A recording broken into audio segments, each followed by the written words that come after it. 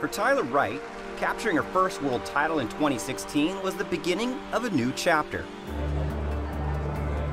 I now know how much I can be better. I think that's exciting for me. At 14, she became the youngest surfer to win a championship tour event. At 16, she was the youngest to qualify. But shortly after joining the CT, the reality of tour life hit hard. I think if anyone reflects on when they were 16, you're just learning about the world. That's a really young age to have to cope with all of those um, pressures. Tyler internalised a lot of it. While her talent was unquestionable, for the better part of three years, her motivation was waning. Then, midway through 2015, as Tyler slid down the rankings, something inside her clicked.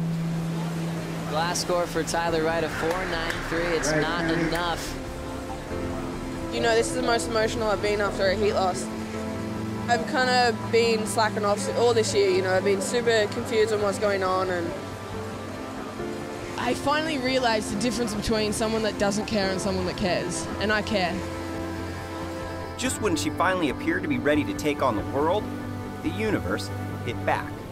Her brother Owen suffered a traumatic brain injury at Pipeline, and the emotional aftermath put Tyler on her heels. When the 2016 season started, Tyler wasn't even sure if she could leave Owen's side. But after winning the season opener at Snapper, Owen was quick to nudge her along. There was a lot of hidden motivation. There's some burning desire to want to represent the family. Having Owen with his injury and everything that he was going through, I think that gave her extra drive, that gave her extra purpose. Fortunately, through those discovery years, that's enabled her to find balance now.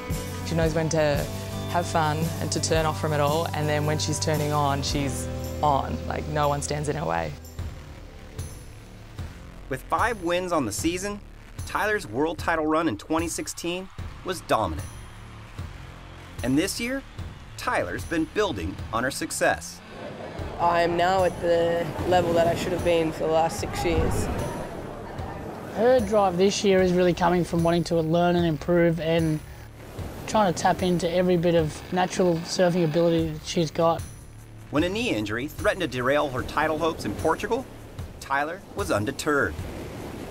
She's tough as nails. She won't give up, and if you tell her she can't do something, then she'll usually find a way to turn around and not only tell you that she can, but prove to you that she can.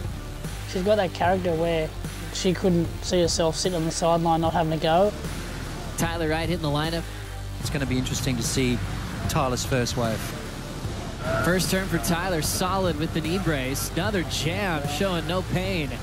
Out in front again for a huge finishing move. Tyler Wright is ready to go today, Pottz. Unbelievable, Joe. Heading into the final event of the season on Maui, Tyler's in control of her destiny. And these days, she's taking nothing for granted. For me, it's it's um, my way of saying thank you to the people that have helped me got here, to the people that are continually teaching me to, to evolve my career, to evolve my surfing. It's my thank you to them to be in this position, it will be my thank you to them to go on and win titles.